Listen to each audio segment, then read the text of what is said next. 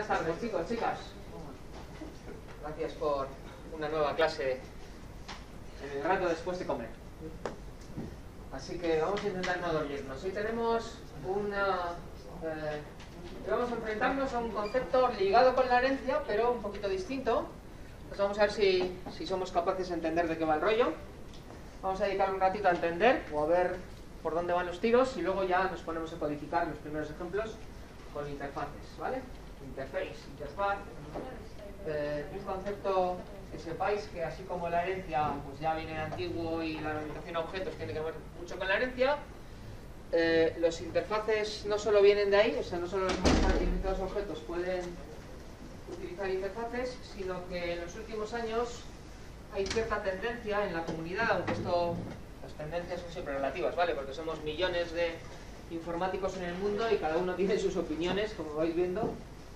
Eh, pero hay cierta tendencia, o voy viendo cierta tendencia, que cada vez se recomienda más no abusar de la herencia, pero sí abusar de los interfaces. O, ante la duda, uso interfaces en lugar de herencia, ¿vale? Esta es como una recomendación que se viene oyendo la última década.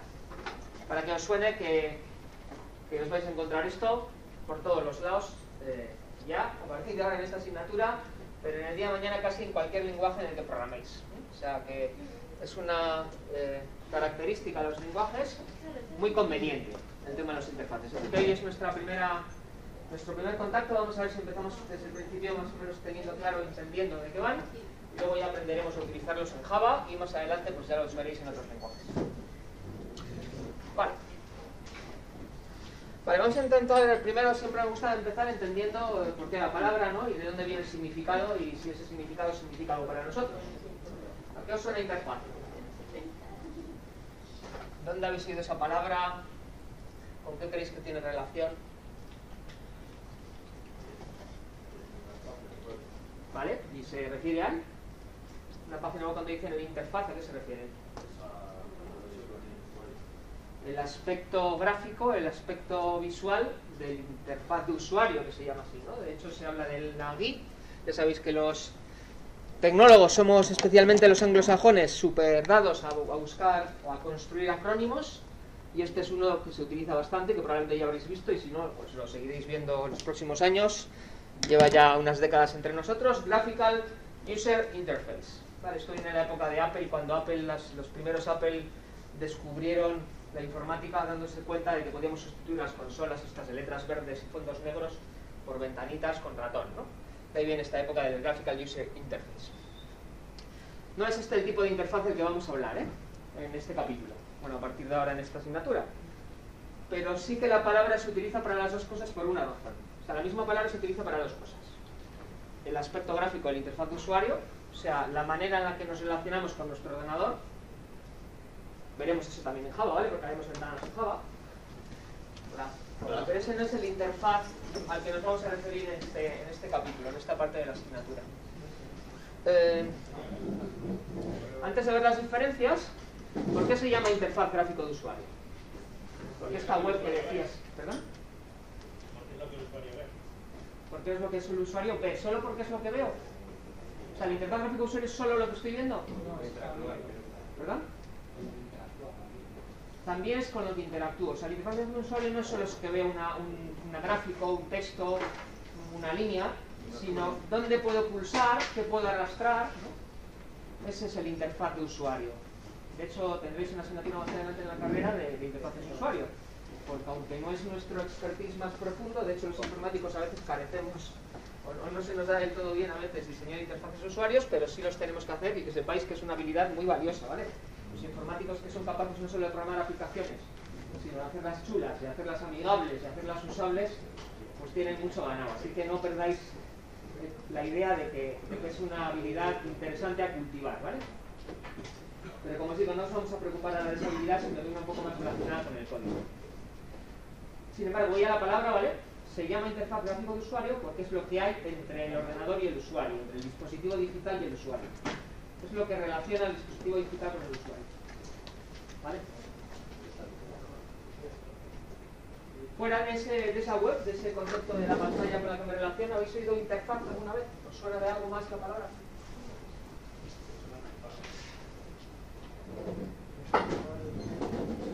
¿No? ¿No habéis oído nunca interfaz USB? Me suena. ¿No suena en algún catálogo, en algún folleto de especificaciones? ¿Habéis visto interfaz USB? O interfaz HDMI. O interfaz Firewire? O eh, DisplayPort? Sí, el usuario está claro. Pero esto también se le llama interfaz.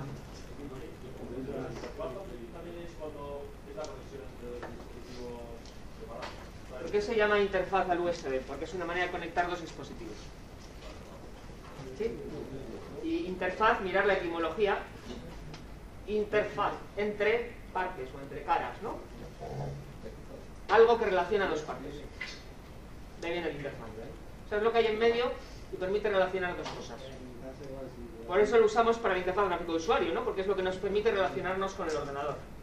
Y por eso también se utiliza en castellano y en otros idiomas para los eh, elementos de conexión, ¿no? Un USB, un HDMI. ¿Por qué? Porque cosas que son diferentes, que no tienen nada que ver, tienen en común que se les pueden conectar a esas cosas por algo que sí que es estándar, que sí que es común, que sí que está regularizado, ¿no? Entonces vemos un ordenador con USBs, vemos una PlayStation con USBs, vemos eh, un, pendrive, vemos un montón de cosas que tienen USB. ¿Qué es el USB? Es el interfaz entre todas estas cosas. Es una manera de cosas que no tienen nada que ver, conectarlas de alguna forma, comunicarlas de alguna forma. ¿Vale? Y como digo, no es solo USB, es en realidad cualquier estándar de los que se han creado, que son muchos, yo que sé, el Euroconector, ¿vale? O sea, cualquier estándar de eso es una interfaz, porque es algo que nos permite conectar dispositivos que por lo demás no tendrían ninguna relación entre sí. ¿De acuerdo?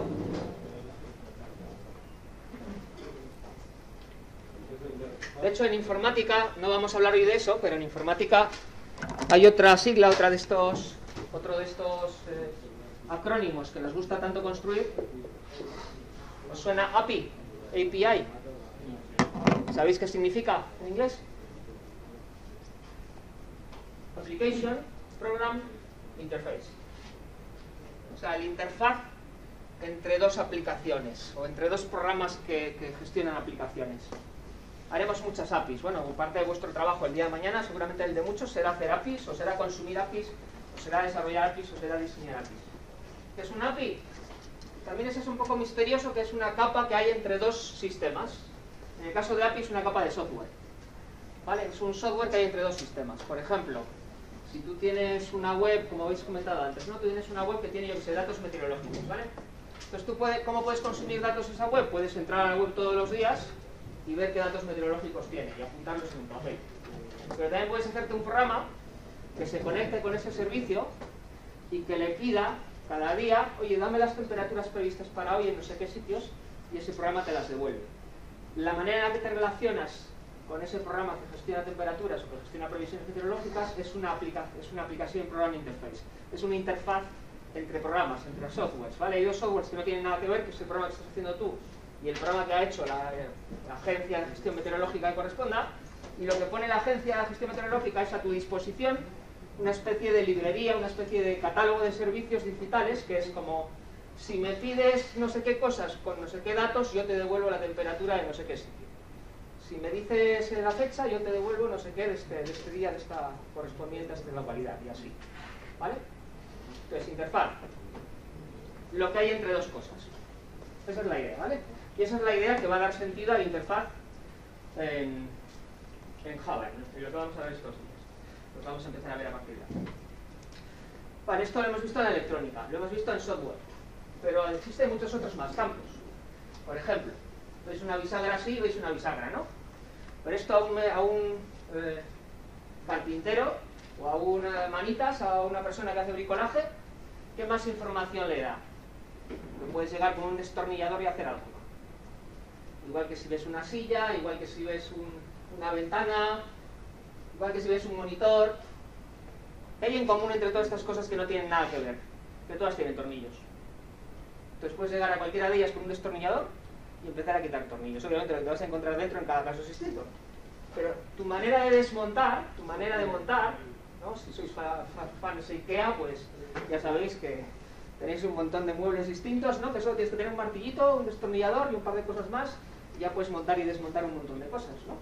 O sea, ¿qué, ¿qué, hay en común entre todo esto? La manera de actuar, la manera de relacionarte, la manera de comunicarte. El sentido en el que un mueble, por ejemplo, se puede comunicar, ¿no? Con el, con el montaje del mueble, ¿no? Con el montaje del mueble, del monitor, de la electrónica o de lo que sea. Eh, esto es muy necesario para los humanos, ¿vale? Porque si cada cosa con la que trabajamos tuviera una manera de trabajar completamente distinta, ajena a todo lo demás, sería muy difícil manejar el mundo. Entonces necesitamos tener cosas estándares, igual que hay un USB que se puede conectar en un montón de dispositivos, muchos elementos en el mundo físico tienen tornillos estandarizados, porque si cada uno tuviera su propio tornillo, su propia manera, pues entonces sería imposible desmontar nada. ¿no? Bueno, pues eso también es una interfaz, es la manera en la que nos relacionamos también con el mundo físico. Les pongo un, un, poco, un último ejemplo que nos lleva más a la vida cotidiana y que partiendo de este vamos a enlazar ya con la programación. Es un ejemplo que me gusta poner. Tú estás en una comida familiar, ¿vale? Se acaba la comida y tienes un día generoso y dices, venga, va, voy a fregar. Entonces vas a la cocina y dices, venga, tráeme. Y te vienen a traer cosas. Eh, ¿Qué es el fregadero? El fregadero es un almacén de objetos, ¿no? ¿Cualquier objeto entra en el fregadero? ¿Y qué tienen en común los objetos que entran en el fregadero? Vale, pero solo que están sucios. A lo mejor tu gato también está sucio.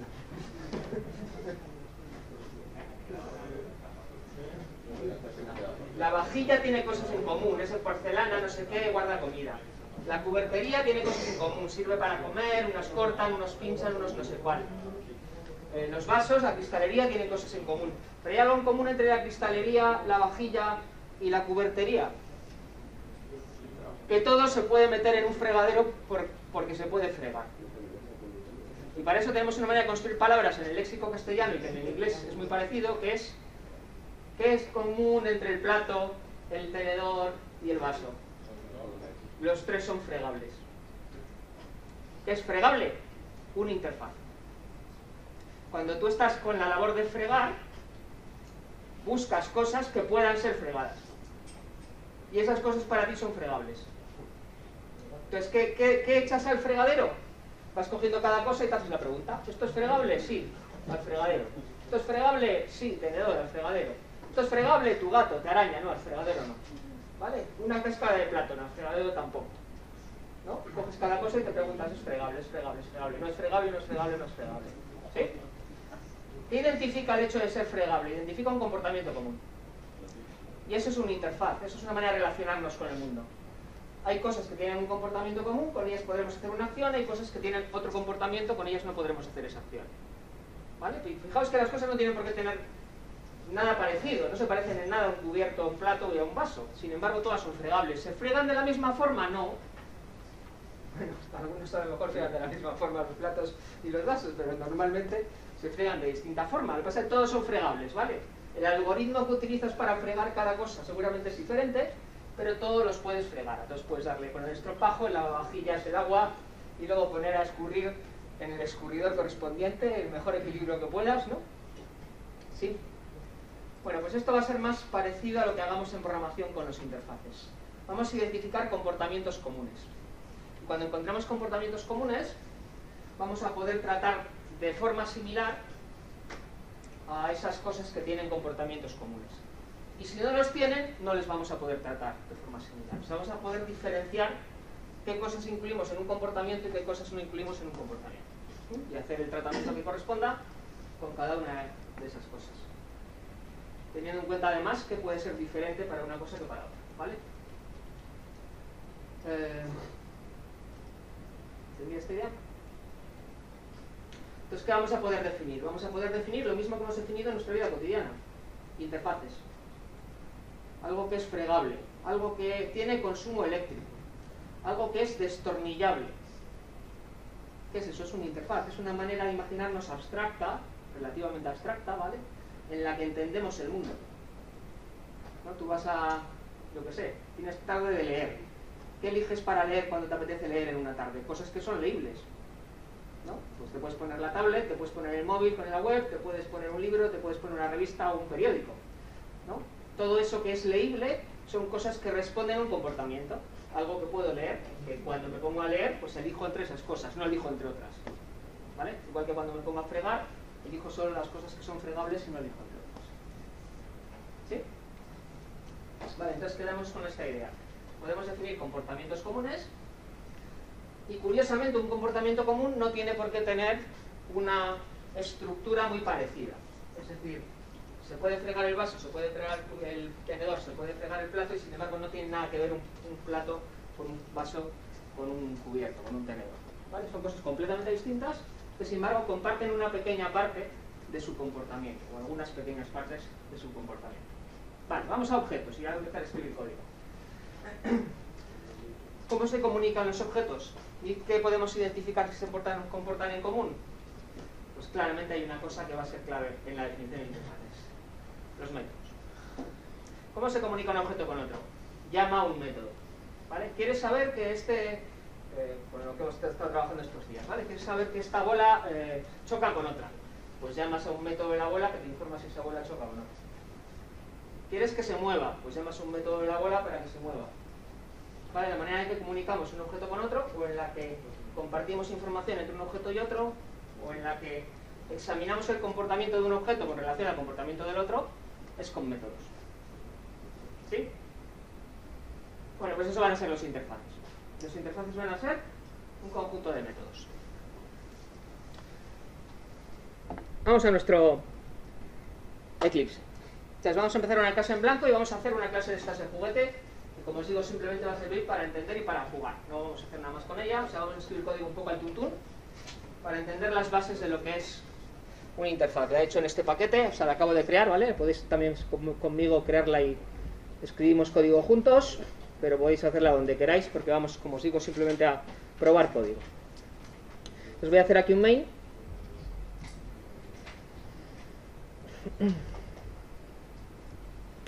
Vale, entonces antes de las interfaces tengo clases. Puedo crear objeto partiendo de clases.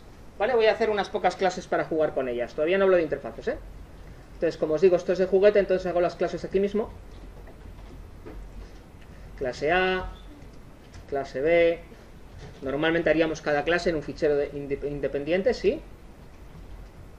Pero a veces para hacer pruebas rápidas te puedes hacer simplemente en el mismo fichero todas las clases. Acordaos que luego se van a generar .class diferentes para cada una de las clases. Por eso la recomendación cuando hagamos esto de verdad es que cada clase tenga su fichero con su nombrecito y su punto .java. Pero ahora simplemente para hacer estas pruebas y para tenerlo todo delante y no andar con un montón de ficheros, lo vamos a hacer en el mismo fichero para hacer estas pruebas. Entonces cuando solo tengo clases, lo que puedo hacer es crear objetos con esas clases. Entonces puedo crear un objeto de la clase A. Sabéis que solo con crear la clase así estamos ya definiendo tipos. ¿Qué definen las clases? Definen tipos. Entonces puedo definir una variable que es del tipo CA y crear un objeto de ese mismo tipo guardando su referencia en la variable. Lo he hecho un poco para repasar todas estas cosas porque va a ser importante entenderlas ahora cuando veamos interfaces. ¿Qué tengo ahí? Tengo una cajita etiquetada como A, en la cual guardo una referencia a un objeto de ese tipo, del tipo clase A. Clase A es una indicación de tipo de objeto. ¿Sí? Sí, ¿no? llevamos semanas viéndolo. Voy a hacer lo mismo con B, lo mismo con C.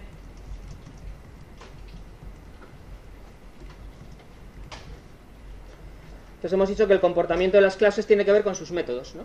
La clase A tendrá un comportamiento, el que sea. Pues por ejemplo, voy a poner un método. Eh, public void, método A. Voy a hacerlo tal cual en una línea simplemente por, para ver cómo funciona. ¿eh? Como sigo, estamos haciendo pruebitas. Entonces no voy a preocupar mucho del estilo, ni de poner tabuladores. O sea, simplemente escribo ese código para entender este concepto de que las clases tienen un comportamiento que está definido por sus métodos. Todo objeto de la clase A tiene un comportamiento que es el que defina el método A. Haga lo que haga este método, ¿vale? Ahora simplemente se pone un mensajito a pantalla, pero ese método podría mover algo, cambiar algo, hacer un cálculo, eh, escribir un fichero, lo que sea que queramos que haga ese método. Cuando separo las clases es porque diferencia el comportamiento. Claro, podría hacer que un objeto B se comporte como un objeto A? Pues no. ¿Vale? Son clases distintas, tienen comportamiento distinto. la clase B habrá otro método que se llamará de otra forma y ese método es el que puede hacer con la clase B. No puede hacer MA poder hacer un MB si aquí define un comportamiento, el que sea, estoy haciéndolo con salida a pantalla, ¿vale? Como os digo, estamos haciendo código de juguete simplemente para entender el concepto. Bueno, tengo objetos, entonces los objetos se comportan diferente. ¿Dónde viene la gracia aquí? La gracia es que a veces por casualidad o a veces sin casualidad encuentras dos clases que son diferentes, pero donde hay comportamientos comunes. Entonces voy a imaginarme que en la clase A hay otro método que es eh, M1.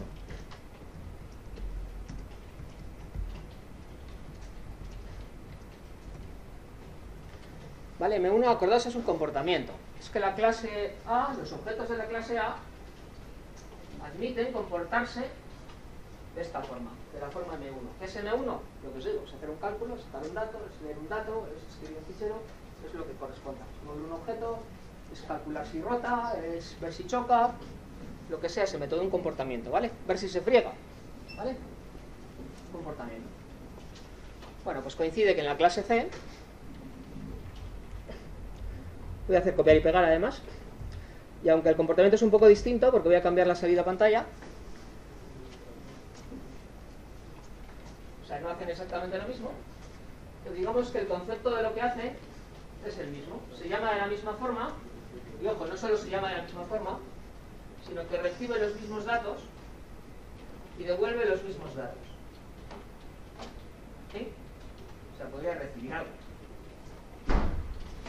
luego hago algún método que reciba algo y que devuelva algo, ¿vale? Para ir aumentando. Ahora de momento quedémonos con que se llama igual, recibe lo mismo que es nada, ningún parámetro, devuelve lo mismo que es nada, no devuelve ninguna, ningún valor de retorno, devuelve void. ¿Sí? Vale, pues ahora puedo decir que el objeto A y el objeto C tienen parte del comportamiento que es común. O sea, en el objeto A puede hacer una llamada M1 y en el objeto C también puede hacer una llamada M1. Aunque lo que cada uno hace puede ser ligeramente o completamente diferente, ¿vale? Los dos tienen el mismo comportamiento, aunque la manera luego de programar eso, el algoritmo que hacen cuando programan eso, puede ser diferente. O sea, los dos responden a M1, cada uno haciendo su, su versión de lo que es hacer M1. ¿Está aquí entendido? Vale. De hacer cosas comunes hemos visto que se puede hacer con herencia. Porque hemos visto que en una jerarquía de herencia, lo que hace la clase padre también lo hacen las clases hijas. ¿Vale? ¿Qué va a pasar? Que hay veces que con herencia no puedes eh, representar esto que estoy haciendo. O hay veces que no te interesa representar esto que estoy haciendo. Las clases C y A son diferentes. Entonces no puedo decir que C sea un A ni que A sea un C. Tienen datos distintos, no he puesto atributos. Obviamente aquí podríamos poner atributos, un montón de métodos más, ¿vale? Claramente son distintas. Sin embargo, una parte de su comportamiento es la misma, M1. ¿Vale? Igual que el plato y el vaso son distintos, pero los dos se friegan. Igual que la televisión y la PlayStation no tienen nada que ver, pero los dos tienen una entrada HDMI. ¿Vale? ¿Qué es una interfaz? Una interfaz es la abstracción que nos permite definir qué hay común entre dos o más clases que tienen partes comunes, que tienen comportamientos en parte comunes. ¿Qué comportamiento hay común aquí? M1. ¿Sí? ¿Qué podemos definir? Pues vamos a definir nuestro primer interfaz. Interface. En lugar de class, pongo la palabra clave interface. Pongo un nombre, voy a poner interfaz eh, M1, por ejemplo. Vale, estoy jugando con nombres de juguete. Cuando hagamos cosas reales, pues pondremos nombres un poco más reales, ¿vale? Interfaz M1. Entonces, igual que puedo hacer clases, voy a poder hacer interface. ¿Sí? O sea, igual que hemos dicho hasta ahora, cualquier cosa en Java está dentro de una clase, dentro de un fichero cuyo nombre es el mismo nombre de la clase. Bueno, pues ahora vamos a poder tener clases e interfaces. O sea, es un nuevo elemento de alto nivel de Java. Es uno de los nuevos elementos con los que vamos a poder construir con nuestros programas. Entonces podremos, podremos construir programas con clases, podemos seguir construyendo programas con clases, y vamos a poder también construir nuestros programas con interfaces. Aquí lo estoy haciendo, repito de modo de juguete, pero normalmente lo que haremos esto es en un fichero que se llame im1.how. ¿Vale? igual que tenemos ficheros independientes que tienen clases independientes, tendremos ficheros independientes que tienen interfaces independientes. ¿Sí? ¿Bien hasta aquí? ¿Qué tiene una interfaz? Comportamiento común. Y solo comportamiento común. Entonces, ¿cuál es el comportamiento común que he identificado entre las clases A y C? Que tienen el mismo método que se llama M1. Vale, pues eso es lo que voy a poder meter en los interfaces. Voy a poder meter public, void, M1, paréntesis, paréntesis. Y atención, dos grandes limitaciones. No puedo meter código en los interfaces. O sea, no puedo poner una llave y empezar a escribir código. ¿Por qué? Porque, como acabo de decir, que el comportamiento es común, para nada va a querer decir que la manera de implementar ese comportamiento sea la misma. Os he comentado, la manera en que se programa el método 1 en la clase A no tiene nada que ver con la manera en que se programa el método 1, o no tiene por qué tener nada que ver con la manera en que se programa el método 1 en la clase C. Y si tiene que ver, me da igual. Aquí no puedo meter código. Solo puedo meter, digamos, la definición de lo que es el comportamiento. ¿Cuál es el comportamiento? Se llama M1, no recibe datos y no devuelve datos. Y llevarlo al ejemplo, a los ejemplos que hemos visto antes, ¿vale? Hay un plato que puedo fregar, hay un vaso que puedo fregar. ¿Cuál es el interfaz? ¿Cuál es la, parte común? Lo puedo fregar. ¿Cómo lo friego? No sé. El, el plato se fregará así, el vaso se fregará así. ¿Vale? Lo que estamos definiendo aquí es un concepto bastante abstracto. De hecho, la mejor referencia que tenéis para entender los interfaces son las clases abstractas. ¿Qué es una interfaz? Una clase muy abstracta. Muy abstracta. ¿Por qué? No tiene datos ni tiene código. Esas son las limitaciones de la interfaz. Solo tiene cabeceras de métodos. Esto es un interface. ¿Vale? Tiene un nombre, tiene métodos, uno o más, pero solo con sus cabeceras. ¿Vale? Como si fuera una clase abstracta. Voy a poner con un comentario para que nos acordemos de la idea.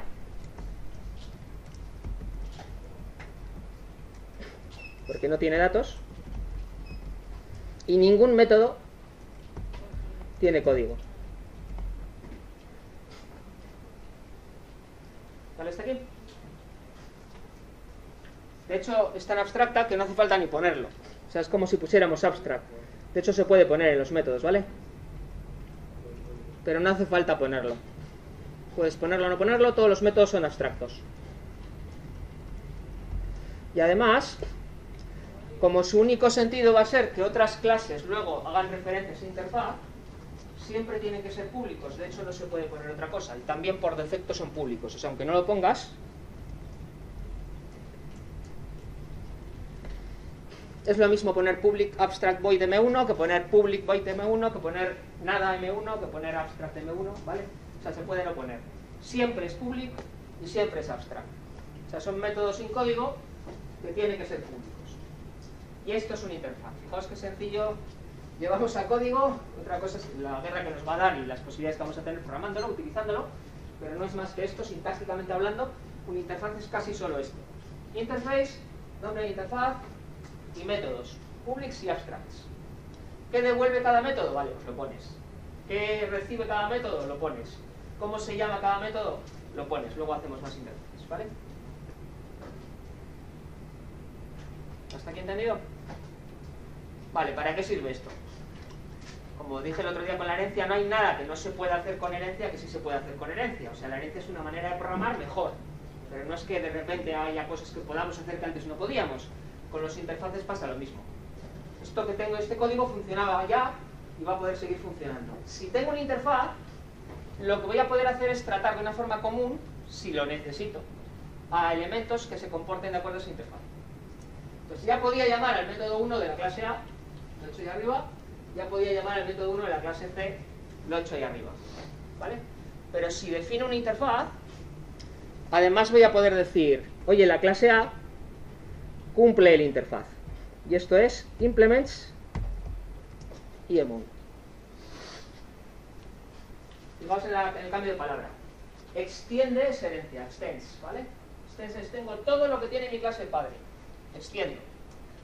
Implements es me comporto como y M1. Podéis pensar en esas dos palabras. Es un, herencia, me comporto como M1. ¿Qué soy un plato? Me comporto como un objeto fregable. Además de que me comporto como un objeto almacenable, como un objeto lucible, como un objeto rompible y todos los comportamientos que tenga un plato, que tiene muchos, ¿vale? Y esta es otra de las siguientes diferencias importantes. Así como solo podíamos heredar una clase, vamos, vamos a poder implementar todos los interfaces que queramos. O sea, no hay límite en Java para implementar interfaces, porque una misma clase puede tener muchos comportamientos. ¿Vale? ¿El plato qué es? Fregable, rompible, movible, almacenable, comprable, destrozable. O sea, todos los comportamientos que queramos modelar, que queramos programar en métodos, los vamos a poder asignar a la clase que implemente después ese objeto. Pues va a ser muy típico a partir de ahora que cada clase herede solo de un sitio. De hecho, aquí no lo estamos poniendo, pero acordaos que cuando no pongo extends, implícitamente lo que estoy poniendo es extends, ¿qué? Estoy poniendo implícitamente object. ¿Sí? Bueno, pues aquí no voy a poder poner comas. Extends object y punto. Y en vez de object extiendo a otro sitio, pues otro sitio y punto, pero solo de uno. Solo hay un padre. Sin embargo, puedes implementar muchos interfaces, separados por comas. ¿Vale? Luego, luego, añadimos alguno. ¿Sí? ¿Dudas hasta aquí? Entonces, ¿qué es una interfaz? Va a poder definir comportamiento y nos va a permitir que cualquier clase implemente esa interfaz. Entonces, la clase CC de la misma forma implementa su interfaz, ¿no? Porque también tiene el método M1.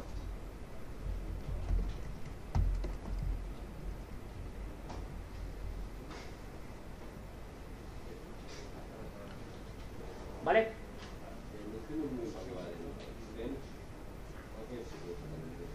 Esta es la herencia, lo que hemos comentado de las semanas anteriores.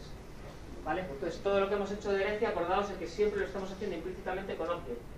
Todo objeto hereda de la clase object. Toda clase hereda de la clase object. ¿Vale? Lo que pasa es que la clase object no tiene casi nada, por eso dices, ¿heredar el object de qué vale? Pues tiene el equals, tiene tu string y alguna cosita más que hemos comentado, ¿no? Pero no tiene datos, por ejemplo. Por eso estas clases que hago en el aire, pues no heredan de nadie. Pero imaginaos que tengo una clase D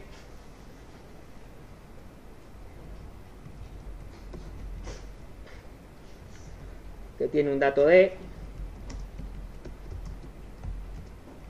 Voy a ponerlo protegido. Y quiero que mi clase E herede de D. O sea, que tenga un dato E. C, D. Ya veis que estoy solo haciendo nombrecitos que no tienen un significado, luego ya no os preocupéis que haremos ya, una vez que entendamos interfaces, ya iremos a código concreto que utilice interfaces. Eh, esta clase D tiene este dato y algunos más. Pero cualquiera de estas clases, herede de object o herede de otro sitio, puede implementar el interfaz M1. ¿Cómo? Teniendo código para su método. ¿Vale? Eh, Vale, poco a poco. Luego seguimos con la clase y con la clase D. Eh, por el hecho de definir una interfaz, fijaos que es muy abstracto, entonces voy a poder crear objetos de la clase de la interfaz IM1. O sea, voy a poder hacer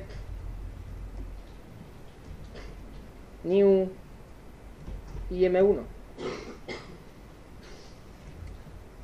De hecho, si lo intento, ya veis que me está dando un error de compilación y me está diciendo no puedes instanciar la clase IM1. O sea, ¿podéis lo que nos pasaba con las clases, las clases abstractas estas últimas semanas? No las podíamos instanciar. ¿Por qué? Porque tenían algún método, uno o varios, que no tenían código. Claro, ¿cómo vas a crear un objeto partiendo de una clase si uno de sus métodos no tiene código? Si luego llamas ese método, ¿qué pasa? Pues no tienes ni idea. O sea, solo puedes crear objetos de las clases que tengan código para todos los métodos porque si alguno de los métodos no tiene código, malamente vas a poder ejecutar ese, método. ¿sí? Esto mismo, y a lo bestia, pasa con interfaces. O sea, lo mismo pasa con las clases abstractas, como os he dicho, una interfaz es una clase muy abstracta. No tiene código nada. O sea, tiene ocho métodos y ninguno tiene código. Y datos tampoco tiene. Entonces, ¿para qué quieres crear un objeto de esa interfaz? No lo quieres crear. O sea, no se pueden crear objetos de tipo interfaz. ¿Vale? Pero, y aquí volvemos al polimorfismo, que va a ser nuestro amigo, o por lo menos nuestro acompañante durante bastante tiempo esta asignatura, sí voy a poder crear variables del tipo interfaz. Lo cual es un poco sorprendente, ¿no?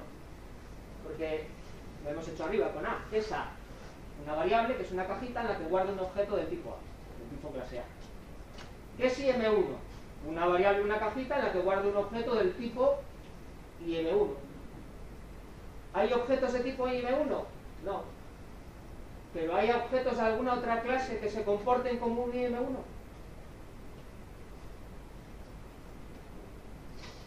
¿Alguna de las clases que hemos escrito se comporta como IM1? Todas las que hagan implements, IM1. Eso es lo que sí voy a poder guardar en esa cajita.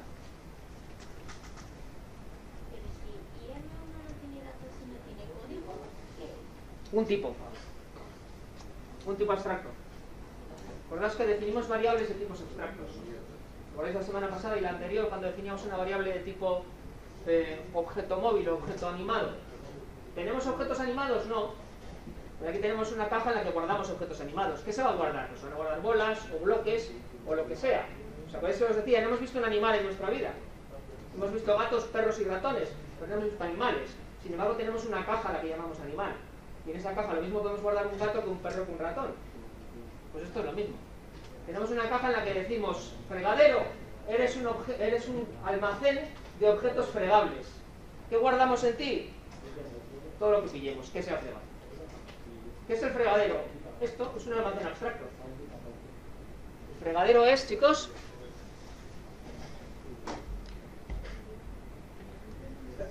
un array list de objetos fregables. Una lista. Una lista, como las listas de Python, ¿vale? Entonces, ¿qué es el fregadero? Un array list de fregables. ¿Qué guarda en el fregadero? Hala, toma fregable, toma fregable, toma fregable, toma fregable.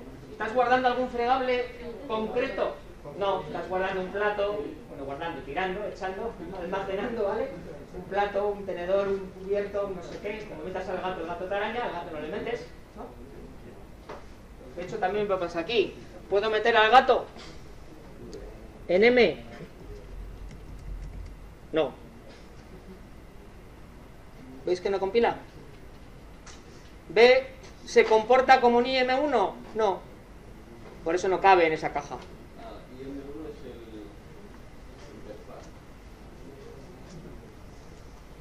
y bueno define un tipo que vamos a poder utilizar en nuestros programas. ¿Para qué sirve ese tipo? Para guardar objetos de cualquier clase que implemente ese tipo, que implemente esa interfaz.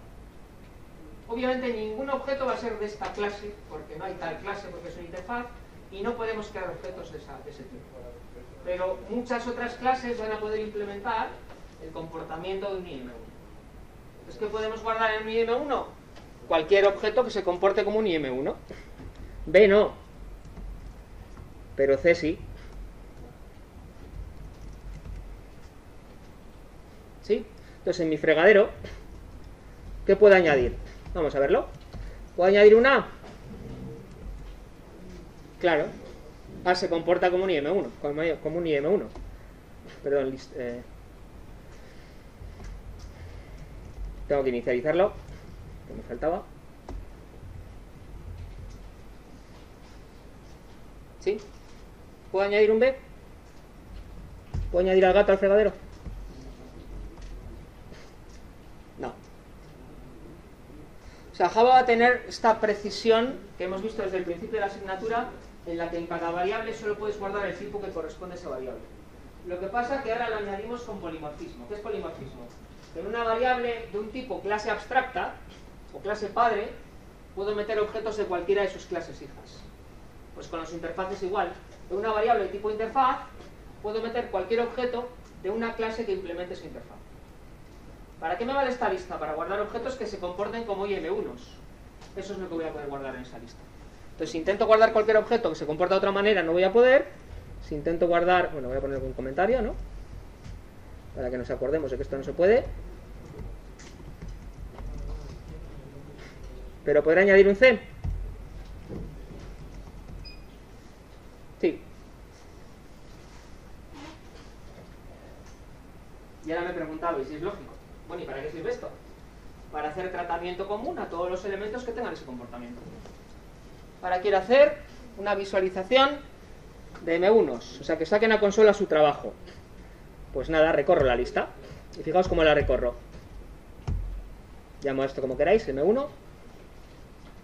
Eh, con un for each, por ejemplo, ¿no? ¿Y qué puedo hacer con M1? Pues por ejemplo llamar al método. Fijaos lo que he metido en la lista. He metido objetos a saco que implementan el interfaz. Cuando recorro la lista, sin ningún problema puedo ejecutar los métodos correspondientes a esa interfaz. ¿Podré hacer cualquier otra cosa? No. Porque lo único que sé de esos objetos es que se comportan como un IM1. ¿Qué significa comportarse como un IM1? Tener el método de M1. ¿Puedo ejecutar el método de M1 sobre ellos? Siempre. ¿Puedo hacer cualquier otra cosa? Nada. Lo único que tienen en común es que tienen el método de M1. Estoy recorriendo, vamos a verlo.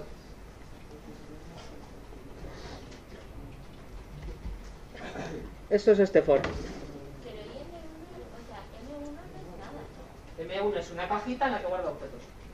Vale, pero luego hago un llamamiento en M1 y me sale un sistema. Cojo el objeto A y se mete en la cajita. ¿Qué hace ese M1? Saca el mensaje. Lo que sea que haga el método, ¿vale? Lo que está programado, está programado esto, pues esto es lo que hace. Obviamente esto podría hacer cualquier otra cosa. Pero si, el inter, si la interfaz también funcionaría. Sí. Acuérdate que acabo de decir, con esto no hacemos nada que no pudiéramos hacer antes. Es que no veo que está aportando. Que puedes tratar de una forma general a todo lo que se comporta de la misma manera. Tú tienes un juego con 200 objetos que todos se pueden dibujar y quieres hacer un ciclo de dibujado en el que dibujas todo. Pues metes una lista de los objetos dibujables de tu juego y haces un for que recorre todos los objetos dibujables de tu juego y a todos les dices dibujar. Uno es la nave, el otro es el asteroide, el otro es la bala, el otro es el no sé qué, te da igual, son de distintos tipos, pero todos son dibujables. Tu ciclo de dibujado lo que hace es recorrer los objetos dibujables y dibujarlos todos. Luego cuando llegues al ciclo de choque y digas, a ver, ¿qué objetos chocan con otro? Pues podrás tener una interfaz de choque y decir, oye, todos los chocables, chocas con este, chocas con este, chocas con este, y a los que no sean chocables no se lo dices. ¿Es la idea? O sea, voy a poder diferenciar de toda mi lista de objetos cuáles se comportan de una manera, cuáles se comportan de otra, cuáles se comportan de otra, y puedo tratarlos por igual cuando necesite tratarlos por igual, por diferente cuando necesite tratarlos diferente. Que tenga el método- que una clase tenga el método M1 ya basta para que sea parte de la interfaz. Con este La método- única, con- eso es, la única condición para poder implementar el interfaz IM1 es tener un método con esta asignatura, con esta firma. Devuelves un void, te llamas M1 y no recibes nada. Si pones dos métodos, pues tiene que tener los Si tienes dos, tienes que cumplir los dos. O sea, no vale estar. Pues tienes que cumplir todos los métodos que tenga la interfaz. Vamos a hacer una interfaz con dos métodos.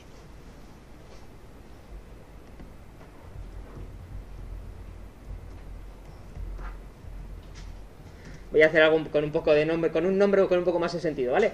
Yo qué sé, movible. Un objeto que se pueda mover. Interface. ¿Qué métodos podría tener un objeto movible? Pues podría tener, por ejemplo, un, move- un mover que recibe un tiempo. Lo estoy inventando, ¿eh? Pero es para que veáis, eh, cuando empecemos a poner sentido a estas letras A, B, C y M, el tipo de cosas que haremos. ¿Qué más cosas tiene un movible? Pues un movible, como se puede mover, probablemente también se pueda consultar su posición, ¿no? O sea, a lo mejor podemos hacer algo así como eh, point, que le importo de Java WT, get posición.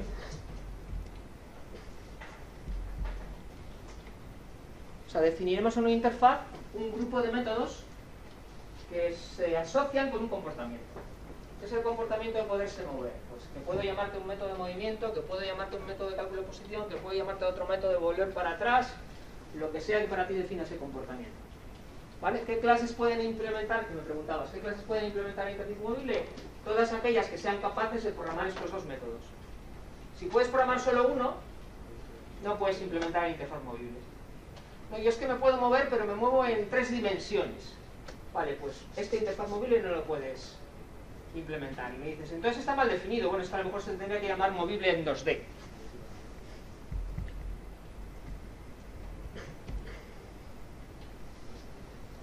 ¿Veis por dónde voy? Entonces, si tienes un objeto que es movible en 3D, pues claro, no puede implementar esta interfaz.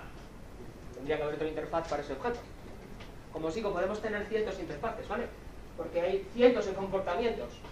Entonces podemos segmentar y decir, este comportamiento lo cumplen estas clases, este comportamiento lo cumplen estas otras, este comportamiento lo cumplen estas tres. Cada clase que quiere implementar, ¿qué tiene que hacer? Implementar todos los métodos de ese comportamiento. Imaginaos que la clase A también es movible. Además de todo esto que hace, también es movible. ¿Qué tiene que hacer? Vamos a verlo.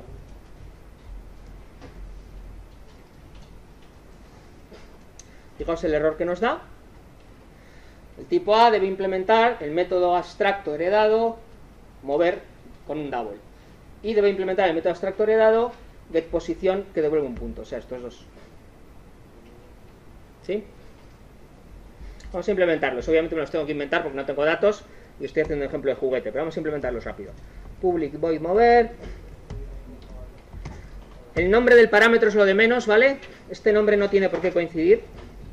El nombre siempre es un nombre temporal que solo se utiliza para darle sentido, pero lo importante es que coincidan el nombre del método, el tipo del parámetro y el número de parámetros, si 3, pues 3 en el mismo orden, aunque el nombre sea distinto, y el valor que devuelven. Eso tiene que coincidir, es lo que se llama la firma, la asignatura de un método. Tipo devuelto, nombre de método, lista de parámetros en el mismo orden. Pero los nombres de los parámetros pueden ser cualquiera. Bueno, obviamente aquí es lo que os digo que me lo invento, ¿vale? Voy a poner un siso de se mueve y ya está. O sea, no os preocupéis del código porque estamos simplemente entendiendo la idea. Luego ya haremos código largo y tendido. Pero fijaos que solo con esto no implementas el interfaz, te sigue dando error. ¿Por qué? Porque implementar el interfaz, lo que me preguntabas, significa implementar los dos métodos. Entonces también tengo que implementar un public point getPosición y cuidado aquí de hacerlo sin equivocarte en ninguna letra, porque si no, no valdría. Y devolver un punto, voy a devolver nulo. Como os digo, el código aquí es simplemente para probar. ¿Veis que ya compila? La clase ahora tiene dos comportamientos. Tiene el comportamiento de IM1, porque tiene este método, y tiene el comportamiento de que es movible en 2D porque tiene estos dos métodos.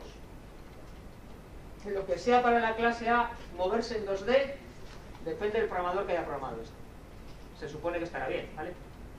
¿Lo veis? O sea, cómo simplemente son detalles de implementación, es lo que hay dentro de la caja negra.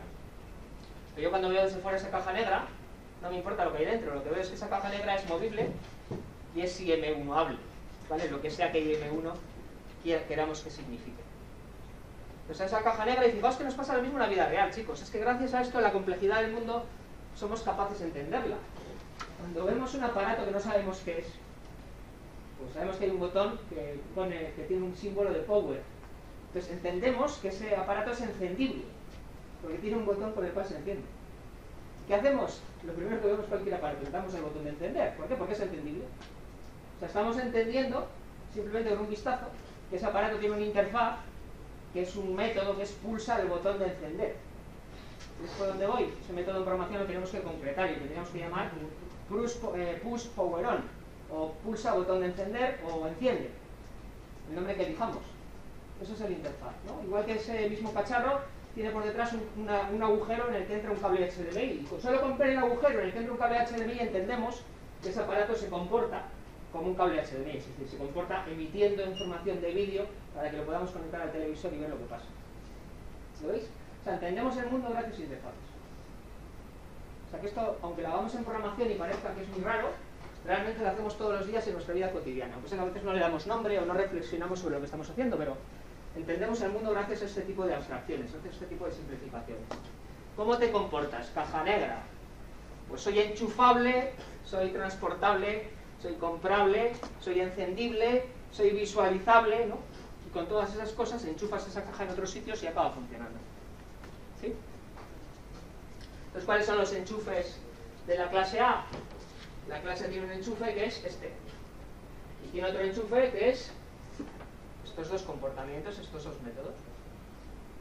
Son sus maneras de comunicarse con el mundo. O sea, esta clase A se puede comunicar con el mundo como un objeto movible, se puede comunicar con el mundo, con el resto de objetos, como un objeto que tiene el, método M1. Lo que sea que haga ese método, ¿vale? Obviamente es importante nombrar y documentar bien los métodos, no lo estoy haciendo, pero habría que documentarlos. En las interfaces, y lo haremos, se documenta y se dice, el método M1 hace no sé qué, recibe no sé qué, devuelve no sé cuál. O sea, se documenta para entender qué significa llamar ese método. Igual que lo hemos hecho con las clases. ¿vale?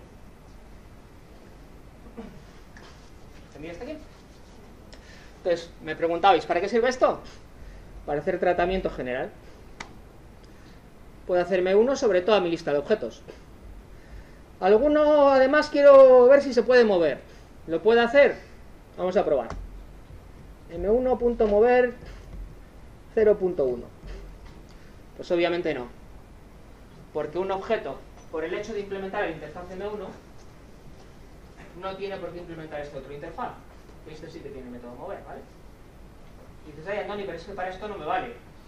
Eh, pero es que sí podemos consultar en cualquier momento si un objeto implementa o no una interfaz. Y esto ya no nos debería sonar tan diferente, ¿eh? porque ¿cómo me pregunto si el objeto M1 implementa la interfaz movible 2D? Para que entonces pueda mover. ¿Qué operador os suena que puedo poner ahí? El mismo operador que he visto con las clases y con la herencia. ¿Este objeto es una instancia de esta clase? Sí, si es de esa clase. No, si es otra clase fuera de su jerarquía de herencia. ¿Vale? Como en la jerarquía de herencia todo es un, el instance of me devuelve true si el objeto es de esa clase o de sus descendientes. ¿Sí? Bueno, pues con interfaces, el instance of me devuelve true si ese objeto es cualquier clase que implemente el interfaz por el cual pregunto.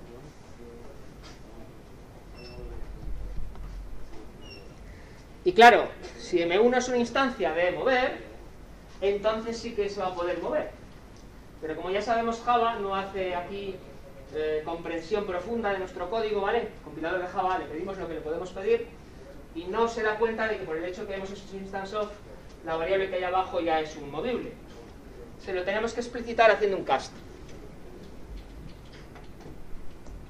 ¿Qué es un cast, chicos? Si no lo entendisteis el otro día, vamos a ver si lo entendemos hoy. Es cambiar la caja del objeto. Le cambiamos de caja.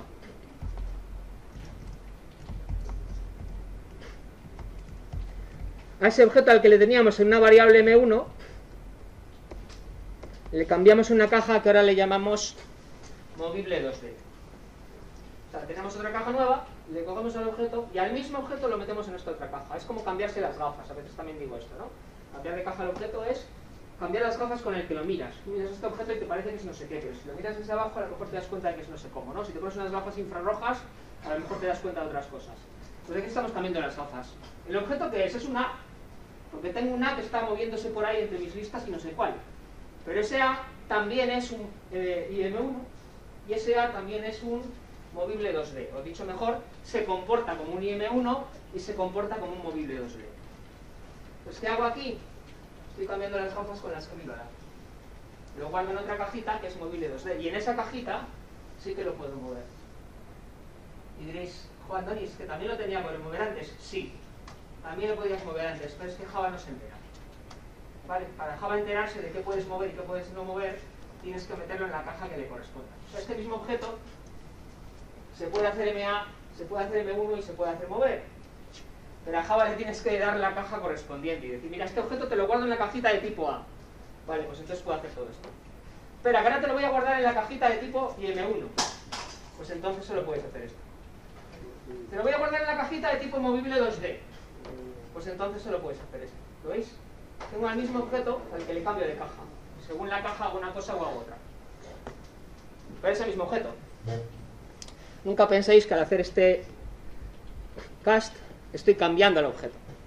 Es la misma referencia. Lo que hago es mover la referencia entre cajas distintas, entre variables distintas. ¿vale? Pero esa misma referencia, si es las tres cosas, o las cuatro, las cinco, las veinte cosas que sea,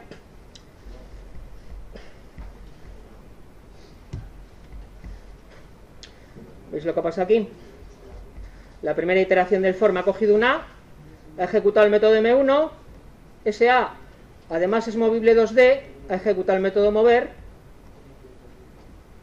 luego ha seguido recorriendo, ha visto un C, el C es un M1, pero el C no es una instancia de movible, luego ya no se ha ejecutado este código. El instance of se utiliza igual con clases padre que con interfaces, exactamente igual. Y el casting se hace exactamente igual con clases padre, con clases de cualquier tipo que con interfaces. ¿Vale? Ojo, solo puedes hacer un cast si ese objeto es de la clase a la que quieres castearlo. Si es una interfaz, tiene que ser implementado, implementando con esa interfaz. Si es una clase, tiene que ser un objeto de esa clase o de cualquiera de sus clases descendientes. ¿Vale? De la jerarquía de herencia definida.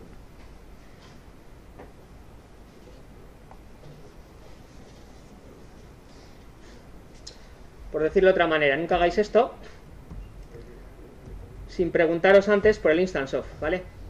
¿Qué pasa si haces este cast con un objeto que no es movible? Pues que te va a dar este error.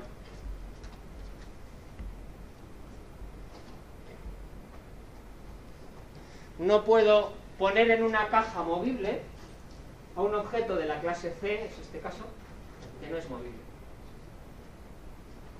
Error de ejecución. Vale, porque solo puedo meter en una caja movible a objetos que implementen mover y getPoint. El punto, como lo haya llamado antes, posición. ¿Sí? ¿Cuál es la manera de evitar este error? Siempre hacer las dos cosas. Primero nos preguntamos por el tipo y luego hacemos el cast. O sea, solo hacemos el cast, esto es lo que se llama una protección, ¿no? Este cast está protegido por el instance of. O sea, solo tenemos que hacer un caso a una clase cuando estamos seguros de que ese objeto corresponde a la clase de la cual hacemos instance. Y como estáis viendo, lo mismo con interfaces. Solo podemos hacer el caso en interfaz cuando estamos seguros de que ese objeto implementa esa interfaz. ¿Cómo estamos seguros? Con un instance of. ¿Sí? Entonces podremos tener una lista súper arremolinada con un montón de objetos de distintos tipos y según lo que queramos hacer, podemos identificar cuáles son de un tipo y cuáles son de otro. ¿Queremos hacer algo con todos los que sean fregables? Pues sacamos los fregables. ¿Queremos hacer algo con los que sean movibles? Sacamos los movibles. ¿Queremos hacer algo con los que sean enchufables? Pues sacamos los enchufables. ¿Cómo? Ahí lo tenemos, instance. ¿Vale? Obviamente podemos hacer más cosas, podemos gestionar distintas listas. Podemos hacer una lista solo con los movibles, otra solo con los fregables, otra solo con los enchufables. Vamos a poder hacer con esto lo que queramos. Son herramientas que podemos utilizar a partir de nuestros programas para hacer lo que en cada momento mejor nos venga. Pero el mecanismo es que es importante entender es que los interfaces, igual que las clases padres y las clases abstractas, permiten definir tipos y esos tipos van a ser polimórficos. ¿Qué es lista M? Una lista de objetos polimórfica, una lista de objetos que puede guardar lo mismo una que un C porque el A implementa IM1 y el C implementa IM1. ¿Vale? ¿Dudas hasta aquí? ¿O cosas que os gustaría probar? ¿Cosas que no entendéis porque son así? Porque pues, si podrían ser de otra forma. Porque Java solo se entera de la caja que le enseñas. Tú cuando a Java le dices, con, este, con esta variable hazme algo, Java solo mira la parte de fuera de la caja. Entonces Java mira y dice, mira, esta caja es de movible. ¿Qué va a poder hacer con ese objeto? Lo que puedas hacer con un movible. Java no va a mirar dentro y va a decir, mira, hombre, oh, si el objeto que, hay que tenías aquí es un gato, espera, que también lo puedes eh, acariciar. No, no. Java no sabe que el objeto es un gato. Java, Java, Java sabe que está en una caja donde hay un objeto que se puede mover. Entonces, como tal, ¿qué es lo que puede hacer con lo que hay dentro de esa caja? Mover. Si quieres hacer otra cosa distinta, lo tienes que cambiar de caja. ¿Sí? No. Bueno, si la caja es una lista, sí, claro. Porque la caja puede ser un contenedor simple o un contenedor múltiple. Si es un contenedor simple, solo una cosa. Si es un contenedor múltiple, como la lista M que tenemos arriba, pues entonces varias cosas. Lista M es un contenedor múltiple M1 es un contenedor simple. ¿Vale? M1 es una cajita que solo guarda una referencia. Lo que estoy haciendo con esto es, con la caja M1, estoy recorriendo la caja lista. La caja lista me guarda muchas cosas, ¿vale? La caja lista es un fregadero. Es como cuando sacas cada cosa para fregarla, ¿no? La sacas del fregadero y la, y la vas a, sé, la vas a aclarar. Bueno, pues cuando la sacas la estás poniendo en una variable única, en una variable simple. Cuando está dentro del fregadero está dentro de una variable compuesta, que es una variable que tiene muchos objetos. Hay variables como lista, que tiene n objetos. Hay variables como m1, que solo guarda uno. Eso ya depende de cómo defines la variable. Veremos más variables compuestas. ¿eh? Veremos, aparte de listas, hay otras variables que veremos en unos días que nos permiten guardar varios objetos estructurados de distintas formas.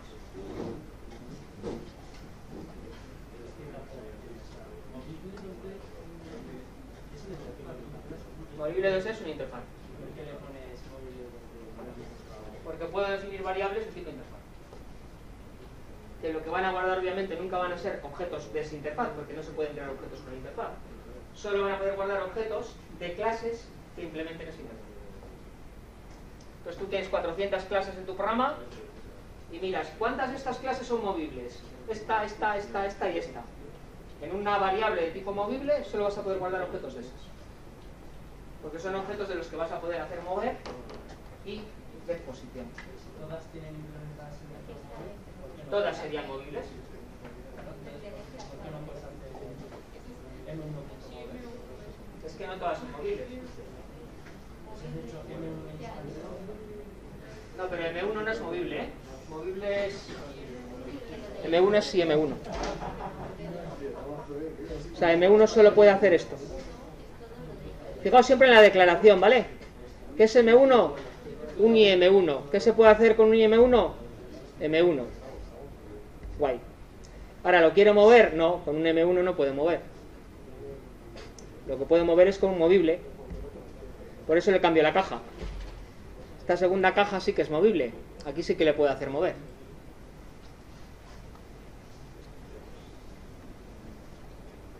A ver, en la lista tengo dos objetos, un A y un C, ¿vale? Cuando recorro el A, el A lo puedo tratar como un A. Pero también lo puedo tratar como un IM1 y también lo puedo tratar como un movible. Porque un objeto de la clase A es las tres cosas. Es un objeto CA, es un objeto IM1 y es un objeto movible 2. ¿Lo veis? Entonces, un objeto de la clase A lo puedo tratar de cualquiera de esas tres formas. Según me interese. Un objeto de la clase C lo puedo tratar solo de dos formas. Como un C o como un IM1. Un objeto de la clase B, pues solo lo puedo tratar de una forma. Como un objeto de la clase B. ¿Vale? O como cualquier objeto de clases padres.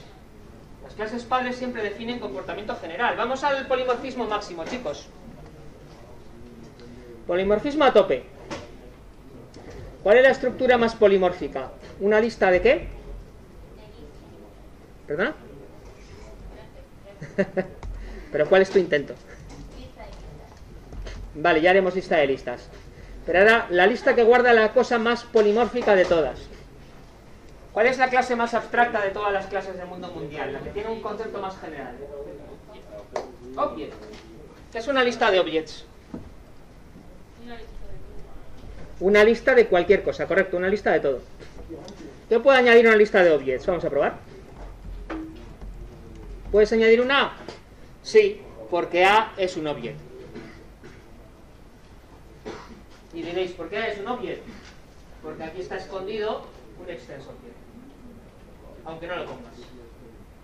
¿Y B es un eh, object también? Aunque no lo pongas, no lo he puesto.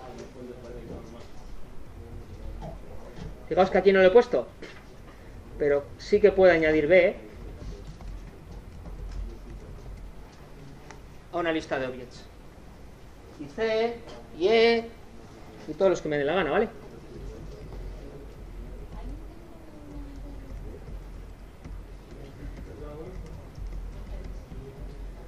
He llegado a crear una clase C aquí, que extiende de D, ¿vale?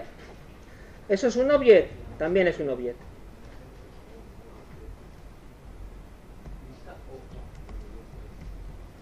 Sí, me la acabo de inventar, ¿eh? ¿Qué es esa lista? Una lista súper polimórfica. Una lista que lo que tiene dentro es cualquier cosa. Porque cualquier cosa es un objeto. Porque todas las clases en Java heredan de objeto. ¿Vale? Oye, es la madre de la madre de todas las madres de clases. O sea, las 4.000 clases de Java más todas las que hagas tú, todas heredan directa o indirectamente de objeto. Luego todas son un objeto. Luego todas caben en una cajita que guarda conjuntos, listas, grupos de objects. De hecho, si hiciéramos instance of, siempre es true. ¿Vale? A instance of object, true. B instance of object, true. Todas las clases son instance of de object. ¿Vale? Es la clase, digamos, que agrupa todo. Entonces, en una lista de object, como has dicho, puedo guardar todo. Porque todo es un object. Todo hereda directa o indirecta. ¿Vale? Y me decís, jo, pues ahora de esta lista que tiene un mogollón de cosas, quiero hacer algo común. ¿Qué puedo hacer algo común? Pues hombre, puedes hacer un tu string, porque object tiene tu string. Vamos a recorrerla.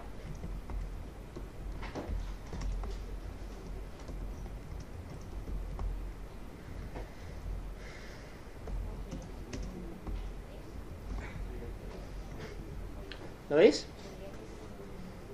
¿Y qué me hace? Hombre, pues me hace una cosa que es un poco fea.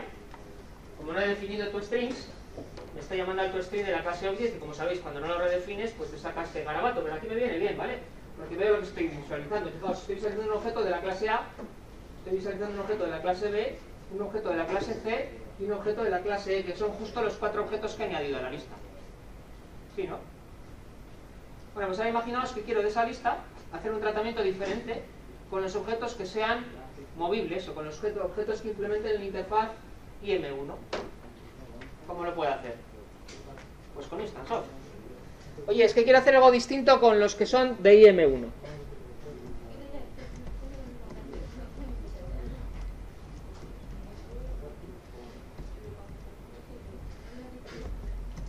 ¿Qué objetos me van a entrar ahí?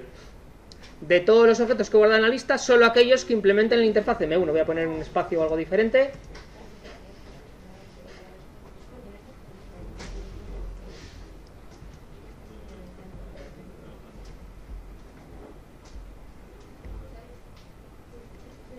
¿Veis? Todos tienen tu string, pero solo algunos implementan el interfaz IM1. ¿Cuáles? Pues lo vemos aquí, los as y los cs. Entonces, si quieres hacer un tratamiento específico del comportamiento IM1, haces un comportamiento específico con los que implementan esa interfaz. Es como si añadiéramos, de alguna forma lo podéis ver así, es como si añadiéramos a todos los objetos un boolean con cada uno de los interfaces, ¿vale? Entonces es como si cada objeto supiera decirnos, soy o no soy del interfaz tal. Soy o no soy fregable, soy o no soy movible, soy o no soy eh, estructurable, soy o no soy enchufable, soy o no soy rotable, comportamientos, el que sea que queráis hacer. Entonces cada objeto sabe decirte si eso no es de esa interfaz, o sea, si implementa o no implementa esa interfaz. Si lo implementa, lo puedes tratar como esa interfaz esté definida. Si no lo implementa, no. ¿Y tu string no sería una interfaz? Un método- Podríamos definir una interfaz con tu string. Podríamos definir una interfaz convertible a string. Que todos los objetos que queramos convertir a string implementen esa interfaz. ¿Qué es lo que pasa? Es una buena idea, ¿eh? ¿Qué es lo que pasa con Java? Que todo aquello es tan general que todos los objetos lo hacen, ni ha definido interfaces Java. Directamente ha dicho object lo hace. Pues para eso no haría falta una interfaz porque ya tienes la clase la clase object. Entonces, como ya tienes la clase object, aunque podrías, si quieres lo puedes hacer, o sea, queréis hacerlo, pues eh, sería simplemente hacerlo, sería definir interface. Es una buena idea, ¿eh? Y por ahí van los interfaces. ¿Cómo sería esta interfaz? Pues sería un public string, to string, punto y coma.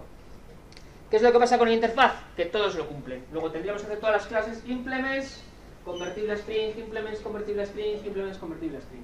Entonces, cuando una interfaz lo cumplen todos, deja de ser útil. ¿Entendéis esto?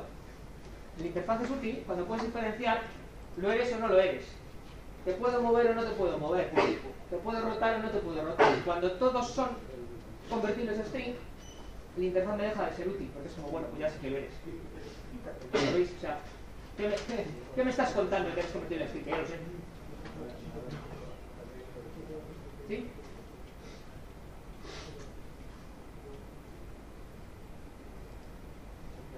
Entonces Java en su diseño, que ha diferenciado para Object, solo aquellas cosas que son muy pocas, que todo objeto es.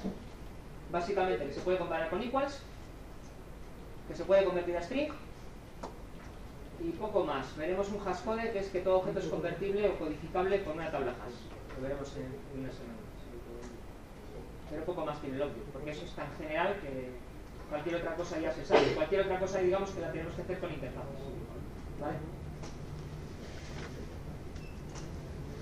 De hecho, Java, además de definir clases, define interfaces. Voy a aprovechar, gracias por, la, por las preguntas, chicos, chicas. Voy a crear otra clase para enseñaros, eh, hacer otro ejemplo que tiene que ver con esto que estamos comentando. Voy a hacerme la clase persona, ¿vale?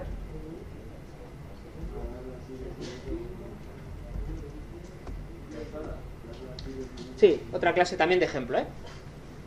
Creo el main para hacer unas pruebitas.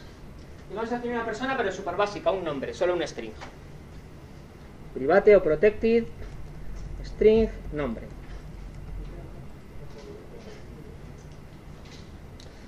Obviamente, como sabemos, podemos hacer una clase muy rápida ayudándonos con Eclipse, ¿no? Entonces le digo rápidamente Eclipse source, generate constructor using fields, y me, me genera un constructor sencillo con el atributo, ¿no? Source, generate constructor using fields. Ahí tenéis constructores muy baratos, o sea, rápidos de construir. Primero definís los atributos y luego sacáis los constructores. Los getters y los setters igual. Getters y setters de nombre, generate, y ahí tengo una clase con get y con set el nombre. El toString también, no sé si lo habéis hecho alguna vez.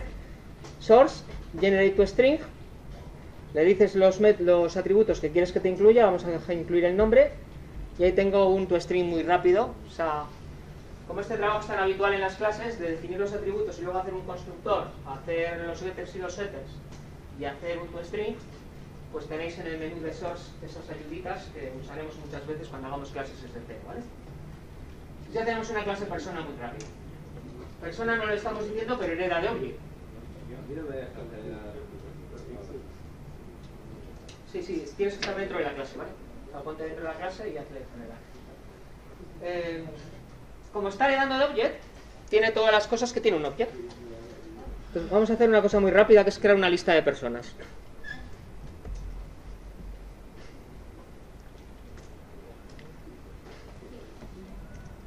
Incluimos array list de la clase persona, lista personas, lista p, new array list. Vale, ¿qué tengo? Tengo una lista que ahora no es polimórfica porque solo tengo la clase persona y no tiene hijas, ¿vale? Luego todo lo que vaya en esa lista va a ser objetos de la clase persona. Aquí todavía no hay polimorfismo en esta lista, porque esta lista solo tiene objetos de la clase que estoy definiendo. ¿Lo veis? Como no hay clases hijas, si las hiciera sí, pero hasta que no las haga esa lista solo tiene personas. Entonces, ¿qué puedo añadir a esta lista? Pues personas. Voy a añadir unas pocas. Aquí inventaros las que queráis, ¿vale? Lista p.add, new persona, Andoni. Siempre somos muy ególatras y empezamos por nuestro propio nombre, pero vosotros podéis empezar por el vuestro o por el que queráis. Metemos unos poquitos nombres, me da igual cuáles, ¿vale?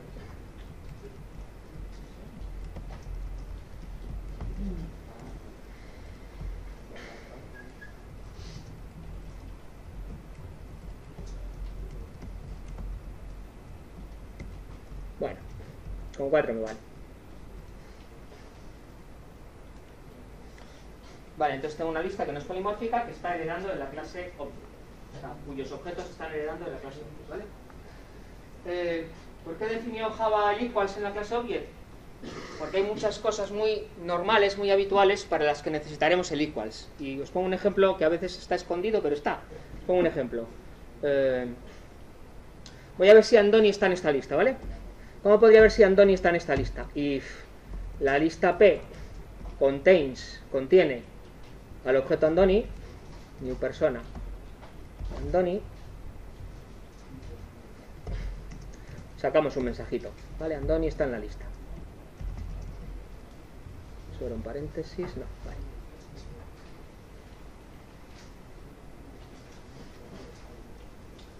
¿Cómo creéis que funciona el contains antes de ejecutarlo? ¿Qué creéis que va a intentar hacer? Por dentro, ¿vale? Obviamente no tenemos por qué saber cuáles son las tripas, pero hay que entender porque a veces nos van a pasar cosas. ¿Qué crees que iba a intentar el contains para ver si un elemento está contenido o no, pertenece o no a una lista? Va a mirar en toda la lista y va a comparar el elemento con el que le pasas. Si lo encuentra te devuelve true, si no lo encuentra te devuelve false. Lo esperable entonces es que salga true en algún punto y que me diga que Andoni está en la lista, ¿no? Pues no me lo dice. ¿Hipótesis? Porque ¿No? justo Estoy haciendo una lista que tiene esos cuatro. Si queréis visualizarla, visualizarla, ¿eh?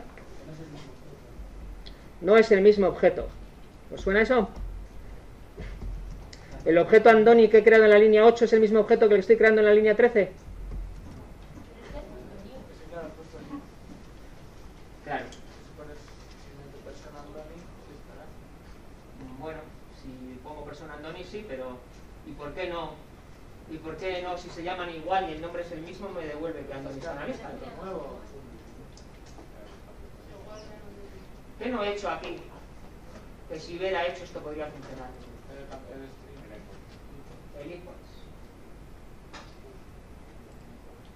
¿Qué equals me está utilizando? El de la clase padre, el de object. ¿Qué puede hacer el pobre object con equals? Pues el pobre object no sabe nada de qué voy a añadir en mis objetos. Entonces lo más que hace es decir, mira, este objeto es el mismo que este, equals igual a false. Este objeto es exactamente el mismo que este, el mismo, el mismo, en la misma eh, referencia de memoria, pues sí, entonces true. Eso es lo que está haciendo. Y de hecho, como comentáis, si pusiera Andoni una sola vez, si creara el objeto Andoni o el que sea, solo una vez, y metiera el mismo dos veces en la lista, o sea, perdón, si comparara el mismo con el que hay en la lista, o sea, si esto me lo creara en otra variable,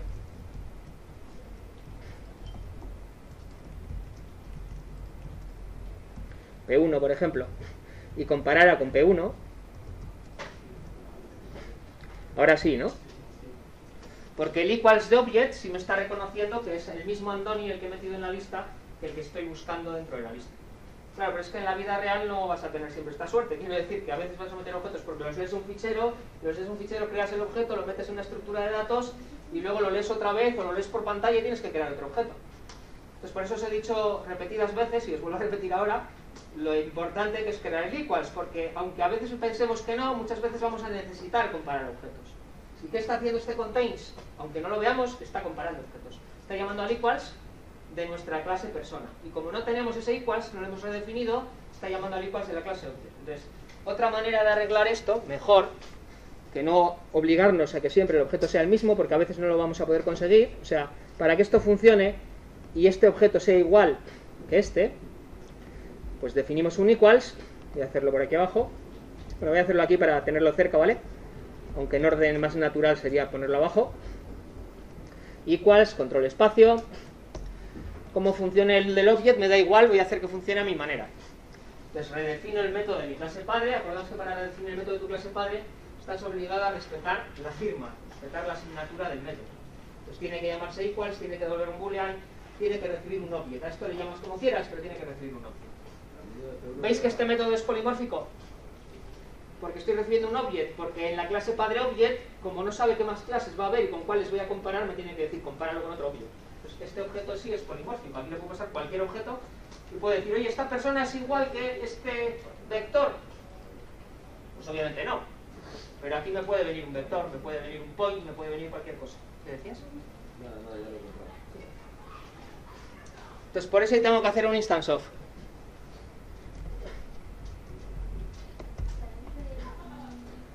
Si lo que me pasas es una persona,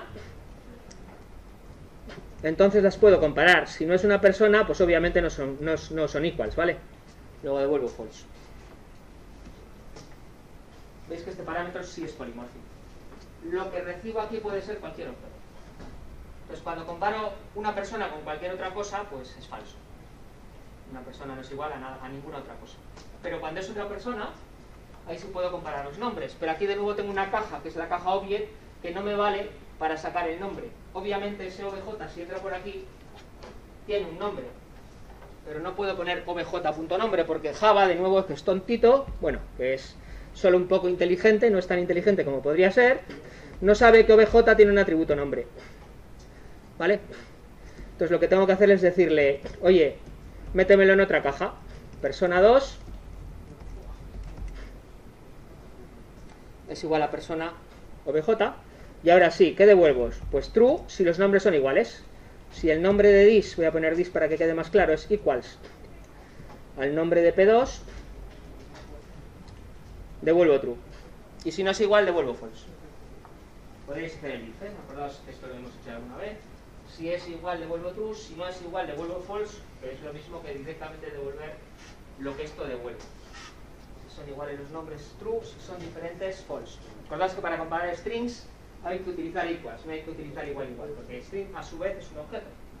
Luego de nuevo aquí tendríamos el mismo problema de que comparo dos strings que parece que son iguales, pero me dice que false, porque igual igual compara solo los objetos. Luego tengo que llamar a equals. Si, el, si lo que contiene este string es igual carácter a carácter a lo que contiene este string, entonces los nombres son ciertos. Y fijaos que si ahora ejecuto, ya me sale el nombre. O sea, el contains ya me ha devuelto que sí, el nombre está en la lista. ¿Por qué? Porque hay dos objetos al irlos comparando con los que ha encontrado que esa comparación es cierta. Entonces ese contains está llamando al equals. ¿Por qué? Porque todos los objetos tienen equals. Entonces, ¿por qué no hizo falta definir un interface eh, igualdad entre objetos o objetos comparables por igualdad? Porque todos los objetos son comparables por igualdad, porque lo han metido en la clase object. Con lo cual esa interfaz que podríamos definir de objetos comparables por igualdad no hace falta. Todos los objetos son comparables por igualdad. ¿Sí? Eh,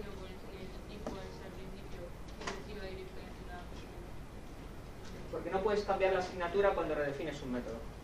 O sea, cuando redefines un método, tanto en interfaces como en herencia, tienes que respetar el tipo de valor que devuelves, el nombre del método y los parámetros que recibe. Solo puedes cambiar el nombre del parámetro, pero no el tipo. O sea, aunque a ti te gustaría poner aquí un persona, no puedes, porque el método de tu clase padre recibe un objeto. Entonces tienes que mantener el objeto. ¿Sí, no? O sea, esta es una limitación de la herencia, chicos, chicas. No puedes cambiar la asignatura, la firma de los métodos cuando heredas. Tienes que respetar tipo de valor devuelto, nombre del método, tipos de los parámetros y orden de los parámetros. Los nombres los parámetros los que quieras, pero los órdenes los tienes que respetar. Y los. Entonces a veces eh, cuando programamos el equals me va a obligar a entender esto como un tipo polimórfico, ¿vale? Te recibo aquí cualquier objeto, de cualquier clase que, que herede de. A veces será una persona, normalmente será una persona, pero podríamos llamar al equals con cualquier otra cosa. Probarlo si queréis.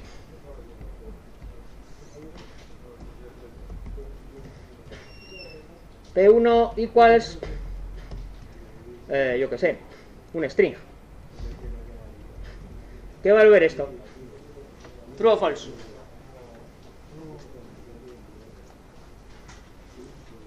¿Qué va a devolver? El nombre de Antonio es el mismo que el string que estoy pasando, luego devolverá true. ¿Qué código se ejecuta aquí? ¿El equals de qué clase? De la clase persona. ¿Es el que hemos definido nosotros? Sí. Vamos a ver cómo se comporta. Si me pasan un object que no es una persona, ¿qué hago? Devuelvo pues.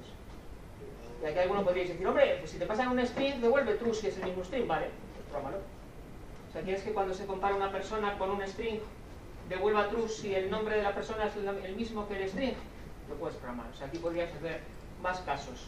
Pero ojo, porque te puedes encontrar con cientos de casos, ¿eh? Porque si es un string, vale. ¿Y si es un punto, qué? ¿Y si es una bola? ¿Y si es un bloque? ¿Y si es un vector? ¿Y si es un...?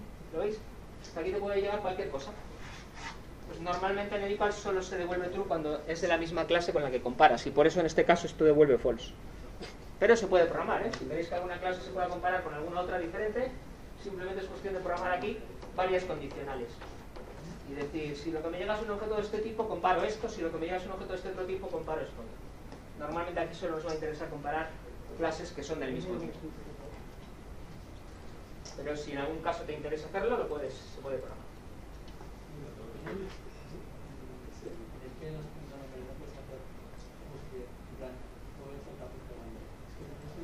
Porque esta es una caja etiquetada como object. Y Java solo te va a dejar hacer con esta caja lo que puede hacer con un objeto.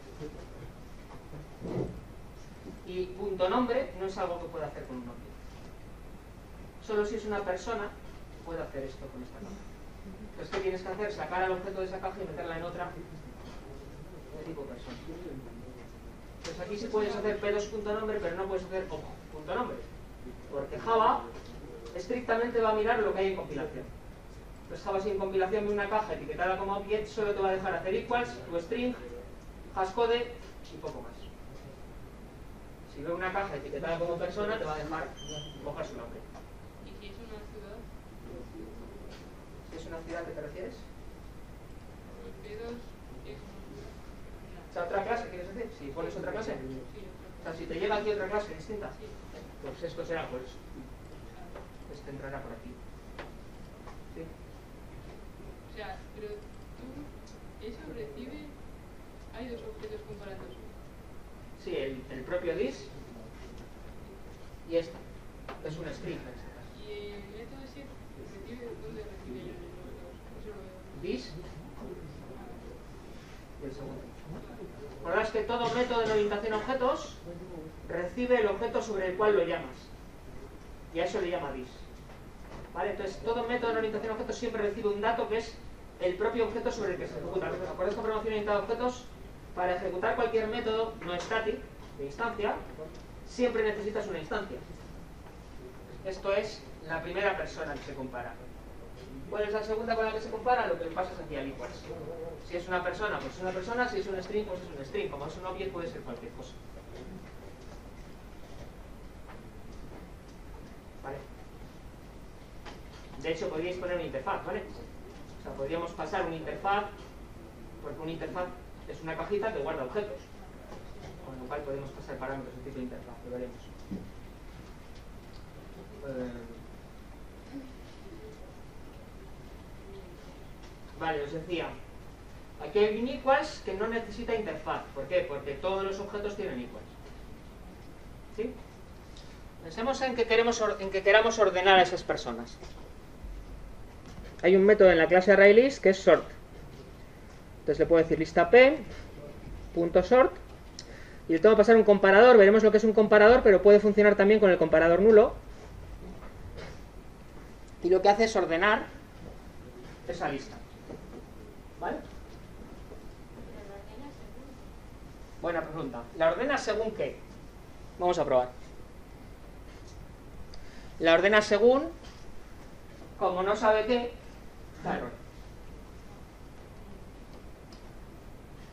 Entonces pensemos en la diferencia entre estas dos cosas. Comparar un elemento con otro sí está no bien. ¿Por qué? Porque todo objeto puede ser comparable con otro, tiene sentido. Pero ordenar un elemento con otro debería estar en object.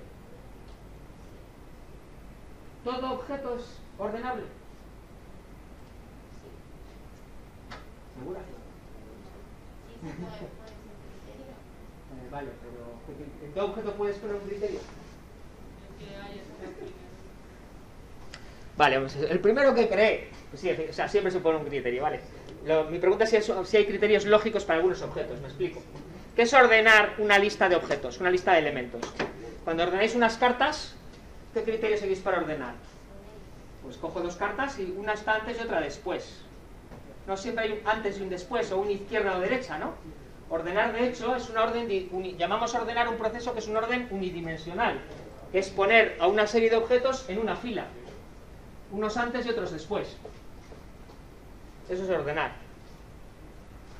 Entonces, siempre que un objeto se pueda comparar con otro y podamos decidir si va antes o va después, podemos ordenar. De hecho, el ejemplo que he puesto de las cartas es interesante, porque según el juego al que estés jugando, a veces ordenas las cartas distinto, ¿no? O sea, puede cambiar tu manera de ordenar dependiendo del, juego de lo que sea que hacemos con objetos.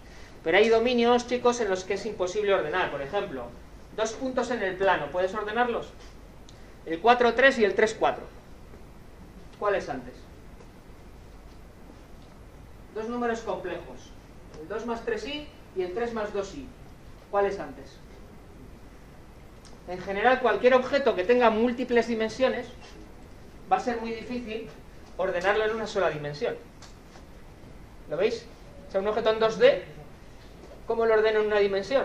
eh, lo has dicho y está bien. El que crees antes, vale, sí. O sea, si guardo el, el timestamp, el, el- el- la hora del sistema en la que he creado cada objeto, pues sí, el primero que cree el primero. O sea, el tiempo, de hecho, es una dimensión unidimensional. Es una variable unidimensional. Por eso sí que puedo ordenar a cualquier cosa por tiempo. Porque en una línea puedo meter a cualquier cosa por tiempo en el tiempo del universo. Bueno, si hay multiversos ya es otro tema, ¿vale? Ya después de la película de Doctor Strange ya a lo mejor esto cambia. Pero de momento el tiempo es unidimensional. Eh,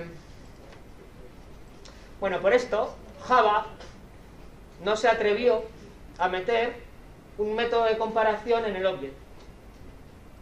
¿Y qué creéis que hizo Java entonces? Como no pudo decir que todo objeto fuera comparable, que básicamente esto es comparar, ¿no? Menor, mayor, igual, definió una interfaz comparable.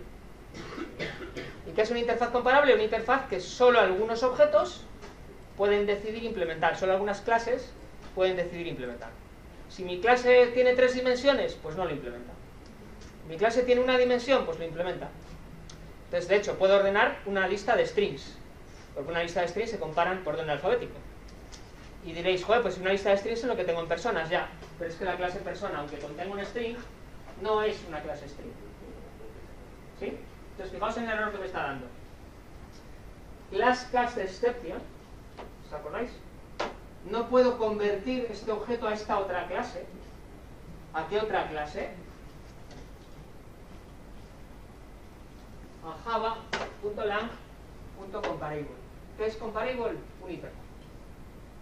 ¿Todo objeto es comparable? No. Solo aquellas clases que implementan comparable. Si vais a Javadoc, reviséis cualquier clase y os lo dirá. Voy a abrir un navegador.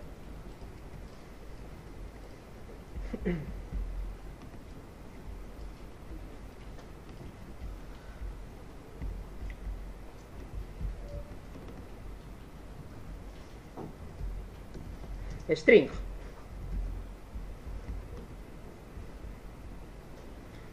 ¿Veis ahí este? ¿Qué te dice la documentación? La clase string implementa el interfaz comparable, el interfaz char sequence y el interfaz serializable. Hablaremos de algunos de estos, ¿vale? O sea, todas las clases, lo que os he dicho antes, solo pueden heredar de una, pero pueden implementar muchos comportamientos. Entonces, a partir de ahora, cada vez que veáis una clase nueva, podéis ir a Javadoc y decir, a ver, Javadoc integer es comparable y es serializable. O sea, si me hago un array, de, un array de enteros, ¿se puede ordenar? Sí, porque implementa comparable. Y si me hago un array de puntos, pues vamos a verlo. Javadoc point. No es comparable. ¿Lo veis? Porque el diseñador de la clase punto dijo cómo voy a comparar los puntos y ordenarlos en una única dimensión. Entre el 3, 4 y el 4, 3, ¿cuál va antes? Como no lo puedo implementar, no es uno de mis comportamientos. No me comporto comparable. Entonces, ¿puedo ordenar una list de puntos? No. Volvamos a nuestra persona. Hombre, nuestra persona sí se puede ordenar por nombre. ¿Qué tengo que hacer? Implementar comparable. Entonces, igual que hay interfaces que podemos definir nosotros, hay interfaces que vienen eh, programados eh, con Java, ¿vale? Ahí en la API de Java viene un montón de interfaces. Entonces puedo decirle implements, comparable.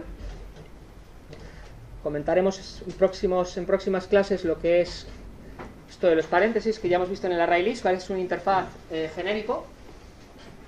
Quiero decir que puedo comparar personas con otras personas, no con cualquier cosa, con otras personas, ¿vale? Por eso el comparable y el, el persona entre menor y mayor. Fijaos que ahora si me da este error de compilación me dice que hay un método abstracto de la interfaz que quiero implementar que no tengo implementado.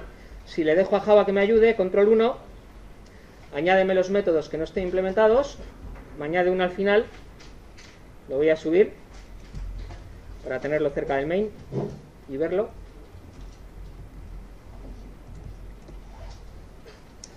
¿Os suena lógico? Si quiero que un objeto sea comparable, tiene que tener una interfaz, perdón, un método con person. Esto, mm, quiero investigarlo, lo busco en la documentación también, ¿vale? En la misma ventana de navegador que he abierto antes, javadoc, comparable. ¿Qué es el interfaz comparable? El que tiene este método. Que devuelve, si leéis por aquí abajo, negativo, positivo o no cero, dependiendo de si el objeto es menor, cero, eh, perdón, igual o mayor que el objeto con el que se compara. Entonces, quiero que una persona sea ordenable, implemento el interfaz comparable, por tanto, le doy código al método comperchu y según qué código pongo aquí, las personas se ordenan. Porque lo que está haciendo ese sort, no importa cómo, es comparar personas con personas dentro de esa lista. Coge personas, empieza a compararlas por parejas y al final las deja ordenaditas, que básicamente es lo mismo que hacemos cuando tenemos en la mano una lista de cartas, ¿vale? Vamos a mirar las cartas y vamos una por una moviendo las cartas a su sitio. Comparamos cartas. Pues aquí es lo mismo, se comparan personas. Pues si programamos bien este método, eh, podremos ordenar personas. Vamos a acabar ya por hoy con- programando este método. Dos minutos. ¿Cómo quiero ordenar personas? En función del nombre, ¿no? Tengo ahí un atributo, voy a ponerlo arriba que se me ha quedado ahí abajito. Una persona 1 con una persona 2, ¿qué hago? Comparar el nombre y ordenarlo en función del nombre. El nombre es un string. ¿El string era comparable? Lo acabamos de mirar. ¿Era comparable el string? ¿Se pueden comparar dos strings? Orden alfabético, ¿no? Dos points no, pero dos strings sí. Pues aprovechemos el método comperchu que tiene el string.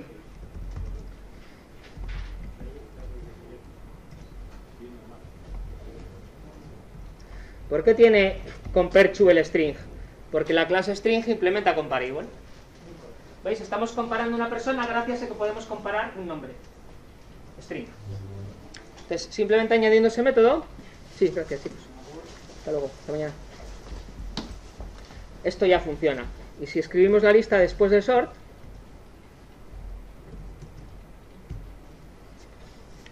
tenemos la misma lista, pero ahora sí ordenada por nombres.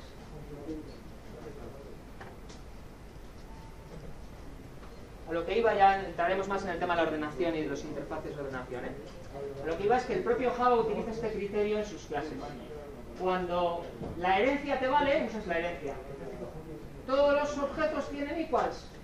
Pues la herencia, ahí está, todos iguales. Pero cuando no te vale, que es muchas veces, se utilizan los interfaces. Solo algunos objetos se pueden comparar, pues el interfaz de comparación. Y solo aquellas clases que quieran compararse o que puedan compararse, implementarán el interfaz de comparación. Las de Java ya lo están haciendo, las tuyas también lo pueden hacer. Yo he hecho que mis personas sean comparables. Y fijaos lo chulo de esto, chicos, me preguntáis, ¿para qué sirven los interfaces? Solo programa una vez un método sort, esto lo ha hecho algún programador de Java, y ese método puede comparar y puede ordenar cualquier cosa del mundo mundial, siempre que esa cosa implemente la interfaz comparable. Porque cualquier cosa que sea comparable se puede ordenar. He tenido que programar un sort para persona, un sort para punto, un sort para string, un sort para no sé qué, no, tengo un solo sort. Y ese sort me ordena cualquier cosa que sea comparable. O sea, que implemente la interfaz comparable. Gracias por el rato. Podéis respirar tranquilos. Mañana seguimos. Hasta mañana, chicos.